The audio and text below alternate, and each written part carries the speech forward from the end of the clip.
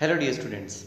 In this video, today I am going to discuss two of the very important methods which are frequently used in answering or attempting multiple choice questions in competitive exams.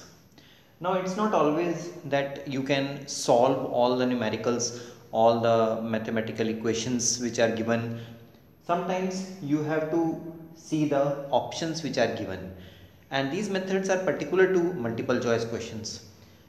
The first method which I am going to tell you is the elimination method. Now see this is a problem based on ages. The age of a father is three times or thrice the son's age.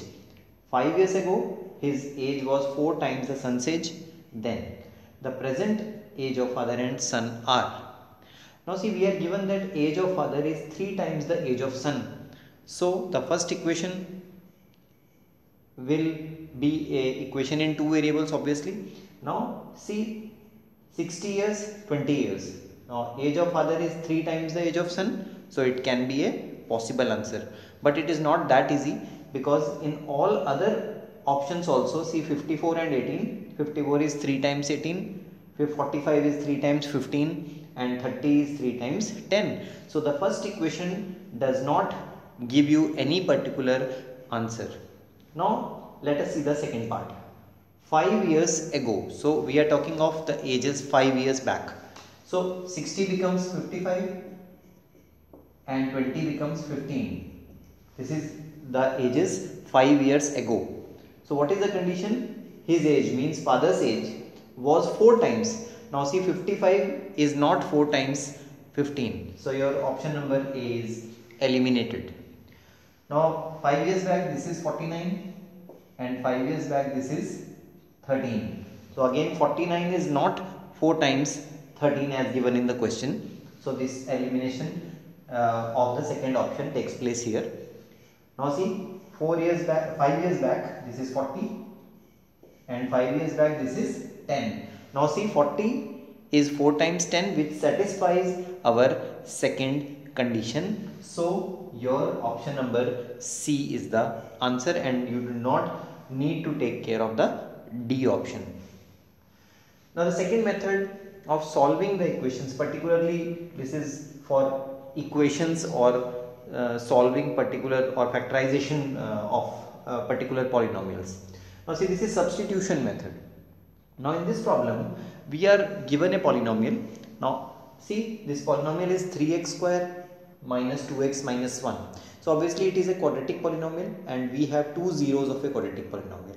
Now the two zeros of this polynomial are, we are asked to find the zeros. Now see, if we put x equal to 3 in this, this is substitution method, we are substituting x equal to 3 in this. So 3 into 3 square minus 2 into 3 minus 1.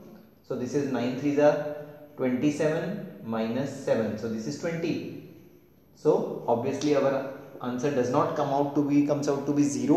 So first option is eliminated. Now just see x equal to 1. If you put x equal to 1, 3 into 1 square minus 2 into 1 minus 1. So 3 minus 2 minus 1 is 0. So obviously x equal to 1 is one of the zeros. But again the answer is not that simple. The, mm, uh, anyone who makes the question paper he uh, increases the degree of complexity for you. So the first 0 obviously is x equal to 1 but it is given in all the three options. So you have to check the second 0. Now let us check minus 3. 3 into minus 3 square minus 2 into minus 3 minus 1. This is 9 is a 27. Obviously this will not come out to be 0. So our second option is also eliminated. Now check minus 1 by 3.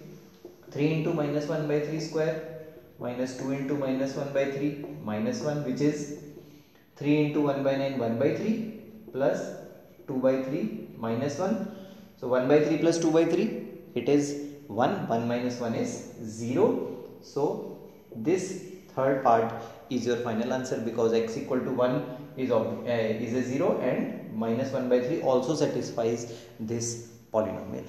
So you see by little bit of uh, knowledge of these two methods elimination and substitution you can solve a wide variety of problems in competitions. So if you like the video share it and subscribe the channel.